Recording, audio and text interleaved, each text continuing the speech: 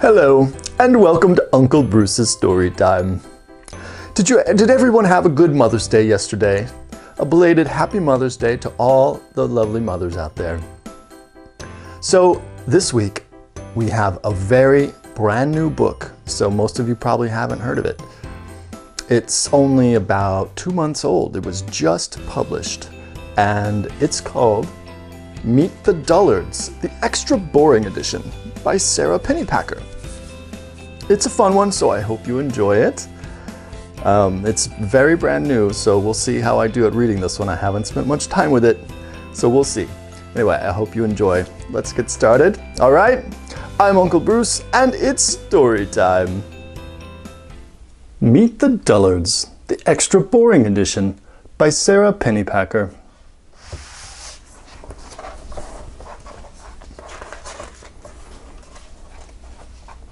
One day, Mr. and Mrs. Dullard received quite a nasty surprise.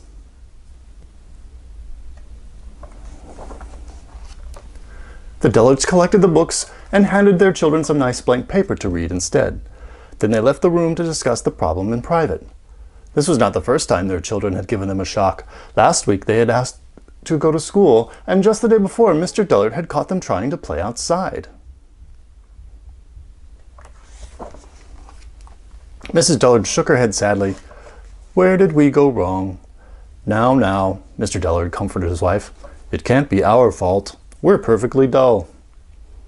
Perhaps it's this place, he said. Last fall, remember, some leaves turned color. And now this. He pointed to an upsetting commotion in the driveway. There's never a dull moment. You may be right. It's like a circus around here, Mrs. Dullard agreed. This is no place to raise Blanda, Borley, and Little Dud. So the Dullards packed up their three dull children and all their dull things and moved. Just as they brought the last box into their new home, a lady came to the door. Welcome to the neighborhood, she said. I baked you an applesauce cake. Please don't use exclamation marks in front of our children, said Mr. Dullard. Mrs. Dullard. Smooth or chunky applesauce? asked Mr. Dullard. Chunks are so unpredictable, so nerve-wracking. I'm sorry, said the neighbor lady. It was chunky. Goodbye, said the Dullards, shutting the door. Well, I never, they heard the neighbor lady muttering as she carried her cake away. Well, we never either, said Mr. Dullard. That's how we kept, keep our family so dull. You children need to calm down after all that excitement, said Mrs. Dullard. Go watch the television.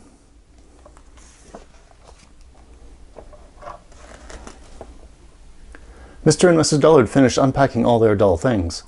Ah, this place feels more boring already, said Mr. Dullard. But then,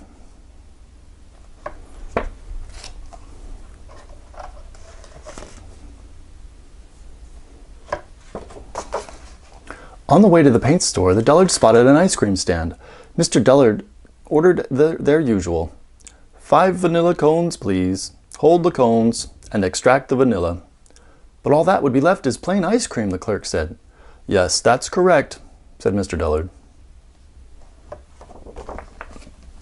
At the paint store, Mr. Dullard suggested a medium gray. Too risky, Mrs. Dullard decided. Gray is the color of highways, and highways could make the children think about going somewhere. How about beige? Out of the question, said her husband. Beige reminds me of clay. The children might think of that and, he put his hand to his heart, want to make something. In the end, they told the clerk to mix the gray paint and the beige paint together, and the new color was indeed perfectly dull, like oatmeal left in the pot. After they finished painting the room, Mr. and Mrs. Dullard tried not to look at the walls, but it was no use. They were completely mesmerized. All day long the Dullards watched the paint dry.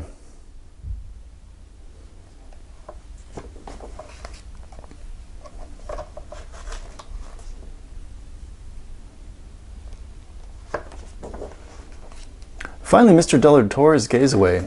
I think, he began. Mrs. Dullard shook her head. No thinking, she reminded her husband. It sets a bad example for the children. And speaking of the children, where are they?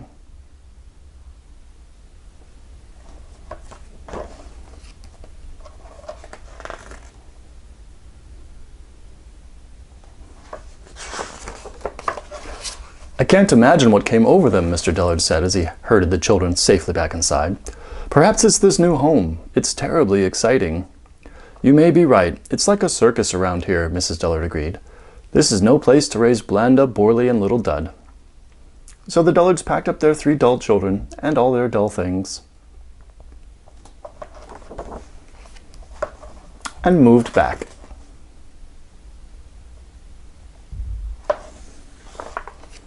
That night, Mr. and Mrs. Dullard fell asleep right away, secure in the knowledge that their children were perfect bores.